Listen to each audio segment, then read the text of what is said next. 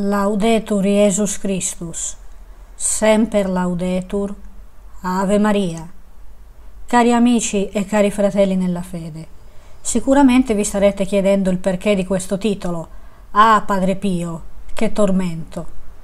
Vi ricordate che nei Promessi Sposi Don Abbondio dice Ah, i santi che tormento e lo dice dopo che il cardinal Federico Borromeo lo manda insieme al più temuto criminale dell'allora Lombardia, cioè l'innominato, a riprendere Lucia. Don Abbondio non si fida della conversione dell'illuminato e ha paura, come sempre. E così esclama, di fronte all'incapacità del cardinal Borromeo di capire le sue paure, ah, i santi, che tormento. Tutti i santi sono un tormento, sono uno schiaffo morale, un pugno nello stomaco per noi e per il mondo intero. Padre Pio è stato in modo particolare il tormento, il santo più scomodo del XX secolo. Egli stesso infatti diceva di sé sono tormento di anime, sono fuoco divoratore, pur non riuscendo a capire le meraviglie le cose straordinarie che il Signore compiva attorno a lui, in lui e per mezzo di lui. Sono un mistero a me stesso, confidò al suo direttore spirituale. Il sacerdote Don Alessandro Bronzato scrisse un libro molto interessante. Padre Pio, un santo scomodo, e lo definisce, oltre che scomodo, guastafeste e rompiscatole. Perché Padre Pio non è un santo adatto a tutti, a tutti i battezzati, ma solo a quelli che intendono veramente convertirsi e vivere il Vangelo alla lettera. Il grande santo di Pietrelcina viene acclamato da quasi tutti ormai, eppure non è da tutti capito o accettato. Molti che dicono di essere devoti, di essere suoi devoti, e magari eh, lo sono davvero, però lo sono a metà, o meglio, sono attratti dai prodigi che succedevano per mezzo di lui attorno a lui e che egli riusciva a compiere, avendogli il Signore concesso tanti doni mistici. A Napoli dicono ho tenuto la grazia gabbato lo santo. Di Padre Pio vogliamo la grazia, vogliamo il miracolo, vogliamo la vita facile, ma il suo insegnamento scomodo non lo vogliamo. Perché San Pio da Pietrelcina, cari amici e cari fratelli nella fede, non ti lascia scampo ti sbatte davanti il tuo peccato e ti dice scegli o Cristo o il peccato, non c'è una terza via. Padre Pio è sconvolgente, dice, dice per esempio Don Alessandro Pronzato, è un bulldozer, non uno spalmatore di pomate emollienti. Lui non offre calmanti, ma agitazioni. Lui è uno spacciatore di tormenti. A San Giovanni Rotondo non si va per mettersi in pace con la coscienza, ma per farsi togliere la pace, ricevere in faccia una brancata di rimorsi. Chi trova comodo Padre Pio, continua Don Pronzato, non, con- non lo conosce affatto, ma ne vede una caricatura. Padre Pio è scomodo, difficile, fastidioso, persino insopportabile. Padre Pio è una medicina amara, non un rosolio. Fanno ridere quelli che si vantano, continua Don Alessandro Pronzato, per supponenza o per ingenuità devozionale, di conoscere realmente Padre Pio. Lui resta un personaggio controverso, complesso, sconcertante. Se ti azzardi a smerciare un'immagine definitiva, lui si diverte a smentirti clamorosamente. Parli della sua severità, della sua intransigenza, della sua santa scrupolosità, lo presenti come un tipo indisponente, o almeno che mette in soggezione. E lui ti frantuma questo. Cliché compare sorridente, bonario, alla mano, protagonista di incredibili gesti di tenerezza, preoccupato di mettere tatuaggio, persino in confessionale, che pure da molti era considerato come l'anticamera del giudizio finale. Padre Pio, insiste don Alessandro Pronzato, è un miracolo che continua, inafferrabile, nonostante tutti coloro che parlano e scrivono di lui, o pretendono di gestirlo a proprio vantaggio. Io invece ho maturato la convinzione che con Padre Pio si rischia di perdere la testa. Lui ti consola più di ogni altro, ma ti fa anche perdere il sonno.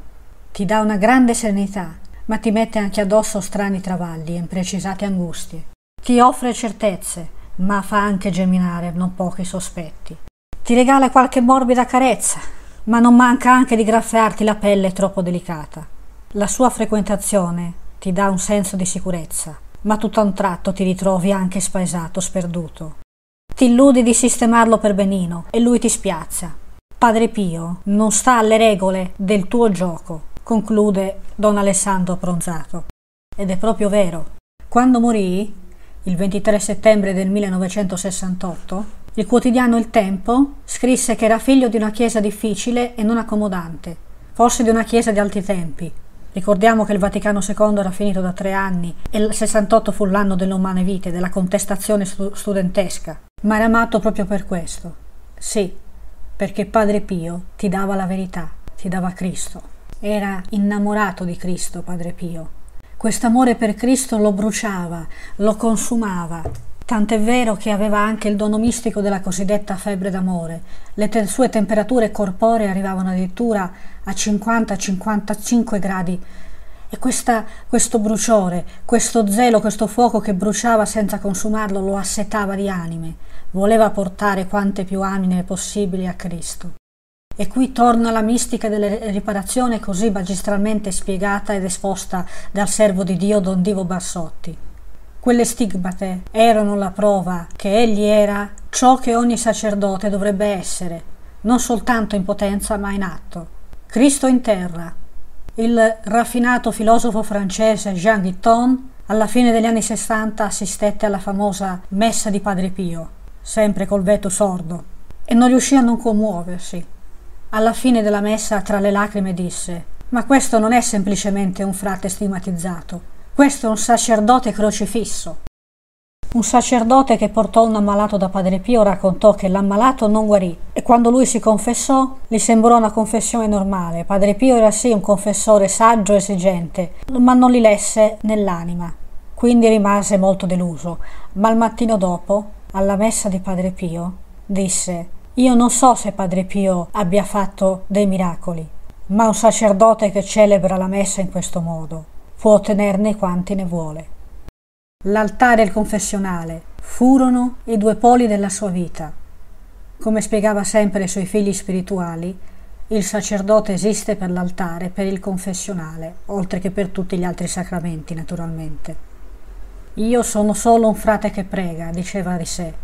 Però aggiungeva, faccio anche il confessore. Confessava dalle 10 alle 16 ore al giorno.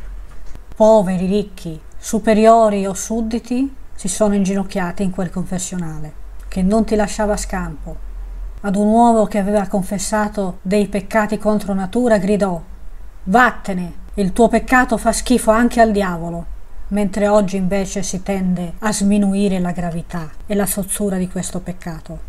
Ad una donna che aveva abortito e non mostrava il minimo pentimento gridò Vattene, assassina! Hai ucciso tuo figlio! Trovati un sacerdote che ti assolve perché io non ti assolverò mai, non voglio finire all'inferno come te. Ad una figlia spirituale che portava le maniche corte disse Te le segherei le braccia, soffriresti meno che al purgatorio. Ad un'altra figlia spirituale che confessava di aver calunniato disse Se ti tagliassero la lingua con ferro rovente sarebbe meglio per te, soffriresti meno che all'inferno. Un uomo che confessava di aver mentito ridendo e scherzando, Padre Pio disse Ah, bravo, andrei all'inferno ridendo e scherzando. A chi bestemmiava diceva Attiri la maledizione su di te sulla tua casa. Oggi si tende a giustificare il divorzio, addirittura ad accettare sotto banco le seconde nozze. Ma Padre Pio dichiarava il divorzio è la scorciatoia per l'inferno, la strada dritta per l'inferno perché distrugge la creazione di Dio. Quando subito dopo il Vaticano II prendeva piede la legittimazione della contraccezione e gli fu detto che tutti praticamente ormai erano favorevoli alla pillola, lui rispose sì, anche all'inferno sono tutti favorevoli alla pillola e dicendo questa frase si recò nel confessionale, pronto come sempre a negare la soluzione a chi faceva del talamo un porcile. Ai suoi figli spirituali fidanzati o già sposati rammentava sempre Ricordate che i peccati contro il matrimonio sono quelli che Dio perdona meno facilmente. Infatti, sappiamo che Sor Lucia scrisse al cardinal Cafarra che l'ultima battaglia fra la donna e il drago sarebbe stata sulla famiglia. Padre Pio è così, o lo accetti e ne accetti le richieste, o lo rifiuti, perché egli, come disse ai suoi superiori, quando confessava, sempre vedeva il volto di Gesù. Se il volto del Signore Maestro era dolce col peccatore, allora anche Padre Pio era dolce col peccatore, ma se il volto di Cristo era duro e severo, altrettanto quel confessore stigmatizzato lo era col penitente. Innamorato di Cristo tanto da versare per Cristo, non una volta sola, ma per cinquant'anni della sua vita, ogni goccia del suo sangue. Così si salvano le anime. Lacrime e sangue, diceva sempre. Padre Pio esigeva, come lo esige il sacramento della confessione, il pentimento dei peccati di chi si confessa, il fermo proposito di non commetterli più.